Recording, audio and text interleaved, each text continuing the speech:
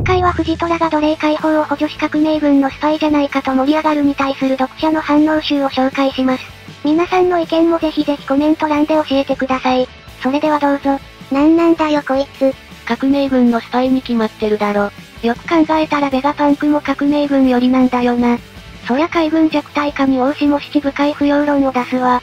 赤犬は世界政府の真相を知って、反旗翻したりせんのかな。藤虎は処刑しとけってマジで。マリージュアで隕石落とそうとしたり奴隷に味方するあたり絶対天竜人のこともあわよくばと思ってるぞ。藤虎いいやつなのはいいけどなら海軍なんか入るんじゃねえよ。最初から革命軍かソロで人助けしてろよ。海軍入って対象になって土下座したり天竜人に逆らったりしたらロックだろ。ガープは孫の処刑も消極的ではあるものの、協力する程度に海軍という組織を重視してるけど、藤虎は徴兵された急増軍人だから、海軍の立場とかは割と軽視してるんよね。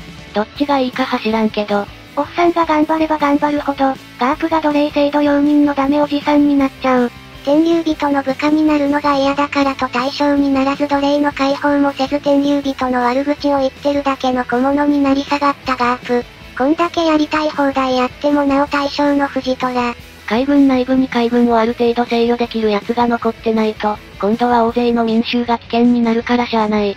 やっぱ翼竜キャラ変わってそう。翼竜だってこの時点では藤虎が水郷どころか強靭だなんて思ってなかっただろう。内部から変えるって具体的にどうすりゃいいんだろうな。ガープがいなくなると海軍の良識派のよりどころがなくなるから困るからガープがおとなしくしてるというならまあわかる。藤虎が組織裏切るクズにしか見えなかった。こいつは一貫して民衆より高派なんで奴隷放置できんのはむしろ自然。そもそも組織のトップを徴兵で突然入れるのがおかしいんだよな。中将は何やってたのって感じだし。ただ藤虎はこれやった後で赤犬とでんでん虫で普通に話してるんだよな。赤犬は藤虎の行動を許容してるのかな。イム様シルエット王冠が長すぎて単純に面白いんだわ。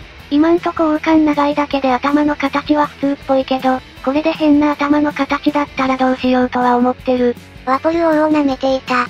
小ボスだった。勝手にマリージュアに遊びに来た上に奴隷解放とかむちゃくちゃなんだこいつ。翼竜話の国に来た時は相当イライラしてそう。